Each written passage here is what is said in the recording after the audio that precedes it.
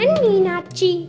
மூன்றாம் திகதி பத்தாம் மாதம் ரெண்டாயிரத்தி பதினாறாகிய இன்றைய தினம் சரவணன் மீனாட்சி நிகழ்ச்சியில் நடந்தது என்ன?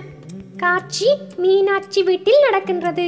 மீனாட்சி வீட்டுக்கு வந்திருக்கும் நிலம் விற்கும் தரகர் அவர்கள் கூறுகின்றார் சரவணனின் தந்தையின் நிலம் விற்பனைக்கு வந்திருக்கின்றது. அதை எவ்வாறு வாங்குவதென்று கேட்க அதற்கோ மீனாட்சியின் தாயார் ஒரு நல்ல யோசனை கூறுகின்றார். என்ன அந்த யோசனை என்று பார்த்தால் வேறு யாராவது பேருக்கு பவரை வாங்கி அதன் பின் அவர்களிடமிருந்து தங்கள் பேருக்கு மாற்றிக்கொள்ள வேண்டும் என்று அவர் கூற அதை அனைவரும் ஒத்துக்கொள்கின்றார்கள். அவ்வாறே செய்யும்படி நிலத்தரகரிடம் கூறி அனுப்ப அவரும் சம்மதம் தெரிவித்து செல்கின்றார். இப்போது தனியாக நிற்கும் மீனாட்சியின் தந்தையிடம் வந்து ஏன் தனியாக நிற்கின்றீர்கள்? என்று கேட்கின்றார் மீனாட்சியின் தாயார். அதற்கு எம்மிடம் நிறைய பணம் இருக்கின்றது நிறைய சொத்து இருக்கின்றது. எதற்காக பிறரின் சொத்தை நாங்கள் அபகரிக்க வேண்டும்? தயவு செய்து வேலுச்சாமியின் நிலத்தை அவரிடமே கொடுத்து விடுவோமே. நாம் அதற்கு ஆசைப்பட வேண்டாமே என்று கூற அதற்கோ மீனாட்சியின் தாயார் கோபமாக திட்டுகின்றார். உங்கள் வேலையை நீங்கள் பாருங்கள். என் வேலையை நான் பார்க்கின்றேன் என்று கோபமாக திட்ட அந்த நேரத்தில் அங்கு வருகின்றார். மீனாட்சி. மீனாட்சியிடம் அனைத்து உண்மைகளையும் கூறுகின்றார். மீனாட்சியின் தந்தையார் எப்படியாவது இந்த தகவலை வேலுச்சாமிக்கு சொல்ல வேண்டும். உனக்குத்தான் வேலுச்சாமியின் மகன் நண்பனாயிட்டே நீ அவனிடம் கூறி இந்த தகவலை வேலுச்சாமிக்கு தெரியப்படுத்தி அவர்களின் நிலத்தை காப்பாற்ற வைப்பாயா என்று கேட்கின்றார் மீனாட்சியின் தந்தை. அதற்கு மீனாட்சியும் சம்மதம் தெரிவிக்கின்றார். இப்போது காட்சி சரவணன் வீட்டுக்கு வருகின்றது சரவணன் வீட்டில் முத்தழகுக்கு உதவி செய்வதற்காக முத்தழகுடன் தொலைபேசியில் பேசிக் கொண்டிருக்கின்றார் சரவணனின் தாத்தா.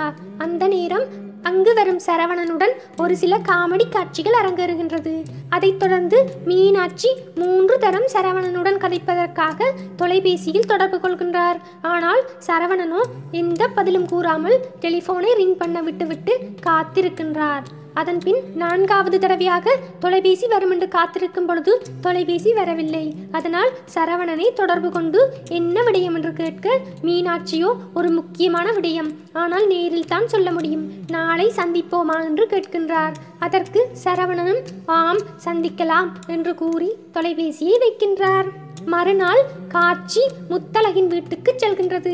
அந்த நேரம் அங்கு வரும் சரவணனின் தங்கை சோகமாகவும் கவலையாகவும் கூறுகின்றாள். என் அண்ணன் உன்னை காதல் செய்யவில்லை. எங்கள் வீட்டில் அனைவருமே மீனாட்சிக்குத்தான் சார்பாக இருக்கின்றார்கள். அதனால் நீ என்ன செய்ய போகின்றாய்? என்று கவலையாக கேட்கின்றாள். அதற்கோ இதோ பார் உங்கள் அண்ணன் தான் எனக்கு தொடர்பு கொள்கின்றான். அவன் என்னைத்தான் காதலிக்கின்றான் என்று கூறி லவுட் ஸ்பீக்கரில் விடுகின்றார். அப்பொழுது சரவணனும் கூறுகின்றார் உன்னோடு தனியாக வெளியில் செல்ல ஆசையாக இருக்கின்றது. வருவாயா? என்று கேட்க முத்தழகும் ஆம் வருகின்றேன் என்று கூறி தொலைபேசியை வைக்கின்றார். முத்தழகு நினைக்கின்றாள் சரவணன் தன் மேல் காதலில் தான் கூப்பிடுகின்றான் என்று.